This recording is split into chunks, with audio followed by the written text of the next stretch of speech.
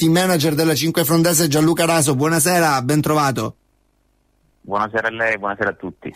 Dunque, ehm, la caccia al primo posto mi sento di dire che è finita per tutti direi, però uh, c'è questa lotta playoff invece che è molto appassionante oggi voi con questa vittoria ehm, eh, come dire avete puntellato il vostro piazzamento portandovi a meno uno tra l'altro dal secondo posto che è occupato insieme da San Michele e Rosarno che ieri ha vinto sì, lo scontro è una bella lotta per le posizioni playoff sì, per il primo posto credo non ci sia quasi più niente da fare meritatamente il Borgo Vercanico sta dominando il campionato l'unica sconfitta è stata con la 5 Frandese, però esatto. poi ha macinato punti e vittorie importanti che ora hanno un bel distacco su tutte.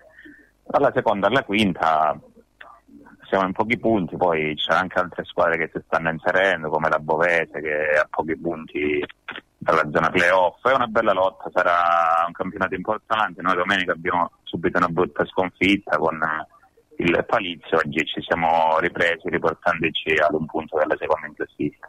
Come si spiega la differenza di rendimento tra casa e trasferta della, eh, della sua squadra? Perché ad esempio le, le ultime due trasferte consecutive sono state, eh, sono state perse ehm, e, e, questo quanto può incidere poi in vista del, eh, del prosieguo del playoff che in prima categoria oltre a quelli di girone poi fa fare gli scontri intergirone e anche perché poi comunque la prossima settimana il test non me ne voglia nessuno, non è probantissimo contro la Scillese.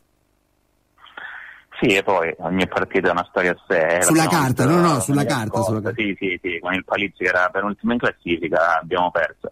E diciamo che nella prima fase del campionato non, non abbiamo fatto male neanche in trasferta, vincendo a Borgo, vincendo con la Propeller. Poi di queste due trasferte, le ultime due, a Rosarno dopo dieci minuti abbiamo giocato in dieci uomini con un'espulsione al rigore contro, quindi è stata una partita un po' condizionata. E con il Palizzi non abbiamo fatto la nostra migliore prestazione. Complice anche un campo in cui non eravamo abituati, siamo arrivati un po' con gli uomini contati tra squalifiche e infortuni, però non sono alibi, abbiamo fatto no, una beh, certo. prestazione e abbiamo perso perdendo punti importanti. Bene, grazie per essere stato con noi.